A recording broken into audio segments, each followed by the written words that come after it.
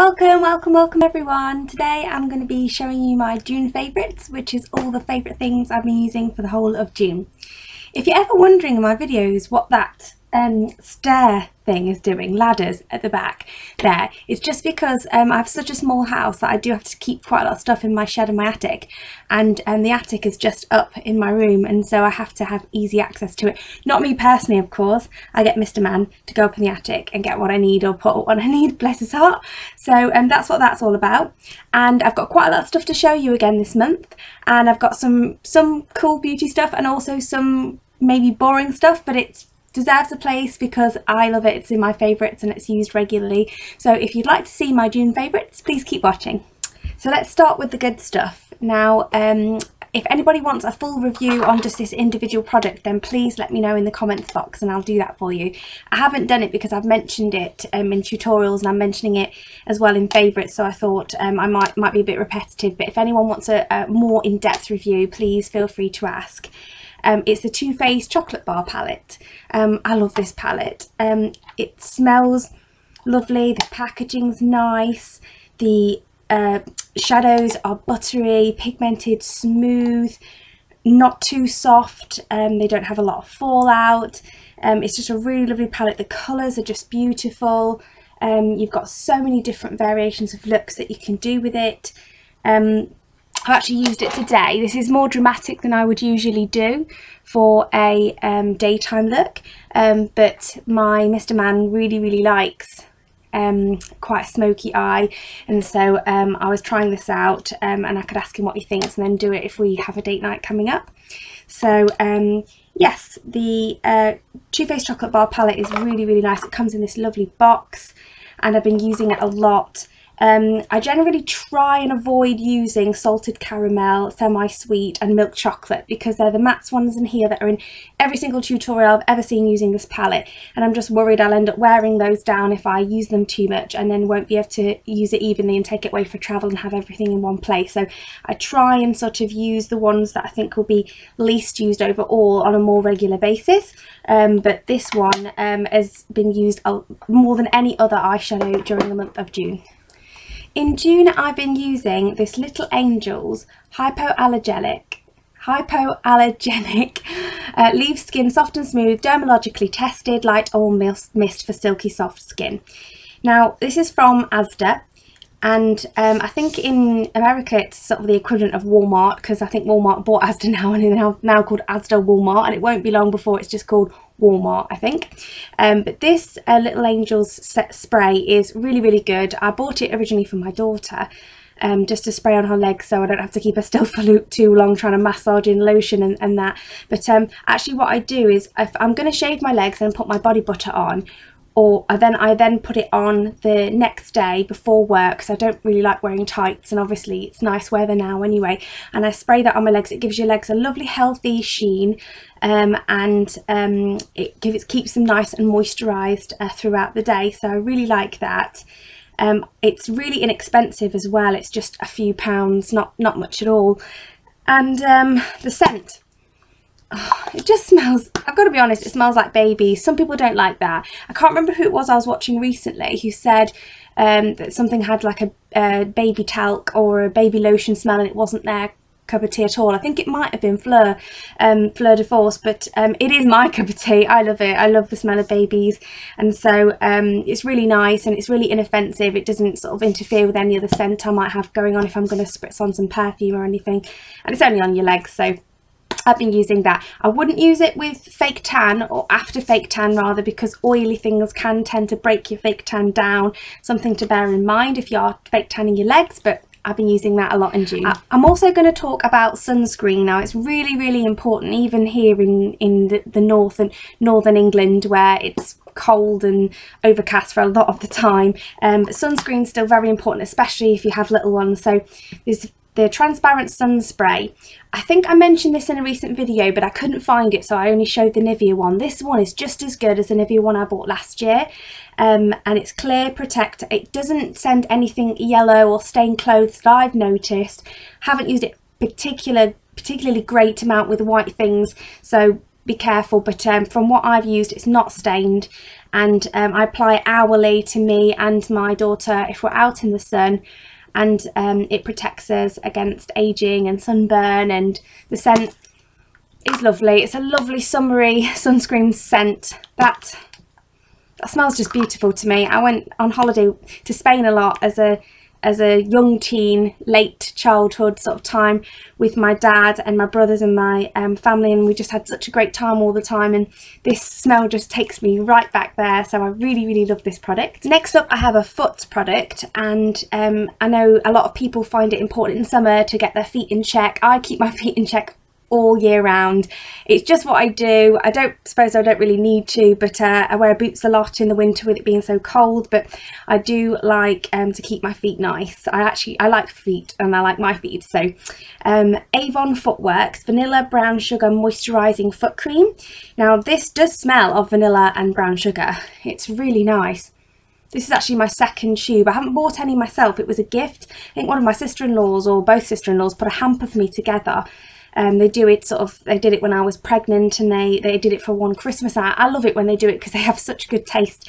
And this um, is one that they got for me and I've really, really been enjoying it. It's been keeping my feet nice and silky smooth. I use it when I'm in bed so I don't tend to put socks on over the top. I just put it in bed when I know I'm not going to need to really get up and it sinks in overnight so really like that. Now I will apologise for having this item in my June favourites which is the 17 All About Nudes uh, Summer Palette because I don't know if you can buy it anymore. I don't even think I paid for it. I think it might have come free when I did some um, shopping in Boots at the 17 line uh, quite a few years ago but I found this out. It's broken so I've sellotaped it because it's really battered and, and well loved and as you can see I've hit pan on both the cream blusher and the lip stick slash lip gloss uh, palette. But these two shadows here are absolutely beautiful. I'm going to swatch them for you. You've got like a, a pink you've got a pink that's like a gold pink. I can never get the lighting for my swatches. You've got a pink that's like a gold pink and then you've got a really beautiful bronzy sort of brown colour with almost khaki undertones. So um, I really like this palette. I've been putting the pink colour all in my on my eyelid and I've been using it's just a really sim simple straightforward look and just using the brown khaki colour through my crease and, and under my under lash line. And I've even managed to pull that look off in enough time um, on my days that I go to work. So quick and easy look. And I can use I've used the cream blush um, regularly for work. And when you layer it with a powder blush over the top I was really surprised to find it lasted all day. The other day I, I, realised I'd had my makeup on for 12 hours at the end of the day. And the only thing that was still holding up was this combination of this cream blush from this palette plus um, a powder blush over the top and it still looked just as nice as the time I'd done it in the morning so uh, really really like that palette. Now I don't often um, mention moisturisers in regards to really liking them. I can to be honest use anything because I don't have any problems with my skin I don't really suffer breakouts uh, very rarely don't suffer dryness anything like that um, and uh, I've put in my empties recently uh, moisturiser which I've finished and I, you know, I wasn't thrilled with it. So it's not very rare. It's actually two moisturisers and I weren't thrilled with them. It's, it is quite rare that I find something I actually like. Um, this Nivea Pure and Natural Anti-Wrinkle Day Cream. I've been using this all month and I really, really love it. Um, it's really, the scent is very clean smelling and um, it leaves my skin really soft and smooth. I feel like it leaves a lovely glow to it. Um, I feel like it great, it works great um, underneath makeup and then I don't have to wait too long for applying my makeup after I've applied this. Uh, I'm really getting on with it and um, I'll probably mention it in an up and coming empties and I'll definitely be repurchasing that on the subject of skincare, I, I feel it's only fair to, to get this one in because I wanted to put it in last month and I didn't feel I had room and then I felt guilty because it does deserve it, so it has feelings. But um, I've got the Tea Tree 100% Essential Oil from Superdrug. Again, very, very inexpensive um, less than five pounds, could be less than three pounds really, to be honest, I can't really remember, but I tend to wait till it's on sale for three for two and just stock up on them um, because I'm always using this. I have one in my manicure bag, um, which I can use just on my feet so I don't mix, you know, the two. And then I have one in my um, bathroom cabinet which I use for uh, facial skincare. Now I know they do sell a diluted version which you're supposed to use when you're dabbing straight onto spots and I know you can buy different spot action treatments for when you've got a blemish in a pen form and things like that and I got a free one with e.l.f. actually and I tried it and I realised again just how brilliant this actually is. So I always use this. It's a to me it's a cult classic and it's just 100% oil. Now if my spot feel if I get a spot and it feels like it really does need some help then I'll cleanse my face and put this straight on before moisturising and that way when I'm putting my moisturiser on it's moving it around as well and distributing it and diffusing it and getting it as a light coating almost as you would if you were using like a tea tree oil um, moisturiser. Um, and but if it doesn't need much help I'll put my moisturiser on then just sort of dab a little bit on. For some people it might burn and I'm not advising you to put it straight on your face because I know that you're not really supposed to do that but I do and it works great for me and I find I do often get um, compliments on the fact that my skin, I've had somebody once say to me, oh, your skin doesn't look much difference whether you're wearing foundation or not. Now that was years ago, so I'm sure that's not true now. Um, but I think one of the things that's really helped me keep a nice skin is the tea tree oil. So highly recommend I've got that. two lip products to mention for June. The first one is um, a line that I've recently bought which I'd heard good things about and I've never tried any of their lipsticks and that's the Colour Sensational by Maybelline. These are so good that I actually wish I'd bought less lip butters and bought more of these um, with my money that I'd allocated for lip products because even though I love, love, love my Revlon lip butters, uh, these are brilliant. I mean, they're not moisturising like the lip butters. They are a lipstick, a true proper pigmented lipstick. But the scent is so beautiful. It's like vanilla, it's, it's a vanilla scent it takes everything in me not to lick it. It's just so nice.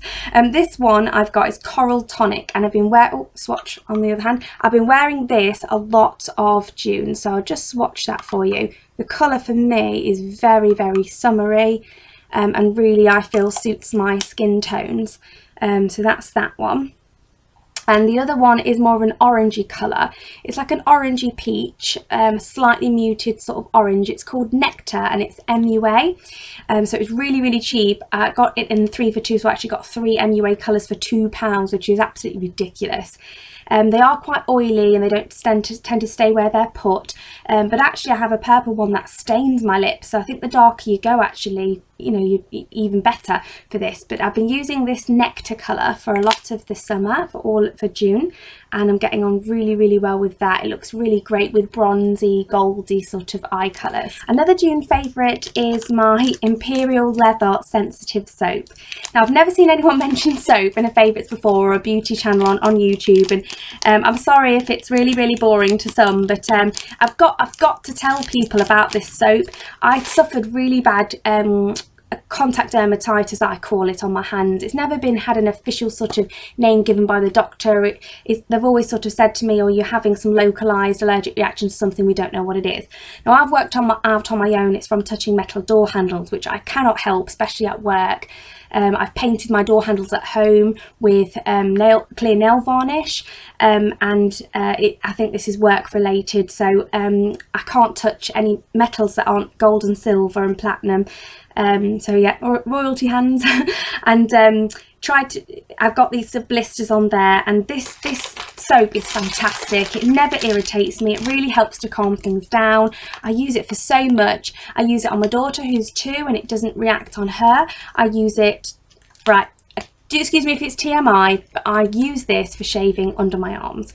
Um, it works better for me than any shaving gel I've ever used. So I really, really love that and I get through loads of it. I mean, I, I tend to just get, you know, it's very soft. It doesn't go hard uh, like some do.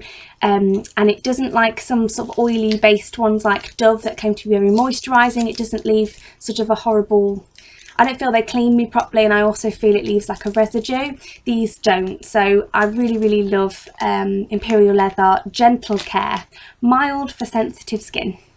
Now this month I've um, been doing a different beauty trick that I've heard so much about in the past and I just didn't want to do it because it just seemed like such a pain in the bum. So I didn't do it and I've bitten the bullet and done it and it actually works. So I've had really terrible problems with my nails peeling. Um, I've tried everything OPI nail envy nail ink Sally Hansen Um, I've got these really expensive French things from my uh, late nan. So loads of loads of stuff uh, tried and not able to achieve the stopping of the peeling on on these nails. But I used to uh, file back and forth, and I thought, I know I'm only supposed to file one way, but I just I just want to get it done. It's really irritating. I don't want to stand there and go.